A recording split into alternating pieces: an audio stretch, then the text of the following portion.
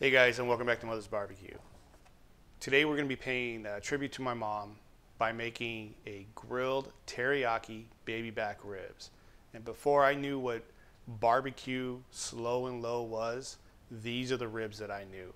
Whenever my mom made these ribs, I always looked forward to these. She would always prep them in the morning, get them in a marinade, get them in the fridge, and then by dinner time she had the grill going, grilling these off. The smell was incredible. This is not your traditional barbecue, four to five, six hours with rubs and sauces.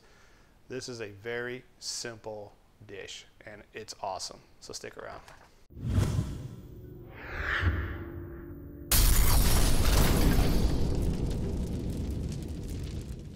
All right, so to get started, what I did early this morning was I took a slab of baby back ribs, I removed the membrane, and I sliced them into individual ribs. Went ahead and added that to the bowl and added one bottle of Kikkoman teriyaki sauce.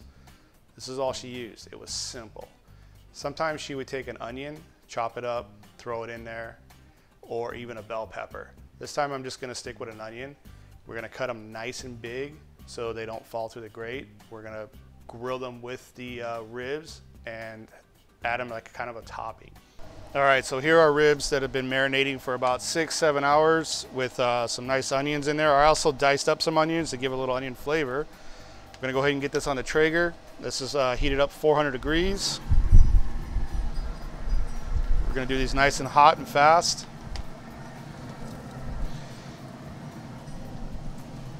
One of the cool memories I had when my mom used to make this is we'd always order uh, takeout fried rice from a local Chinese restaurant.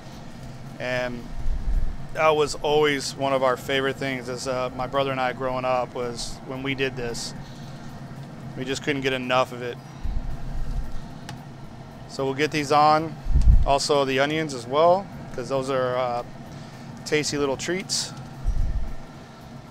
We'll go ahead and uh, give these about 45 minutes. We'll check on them a little bit.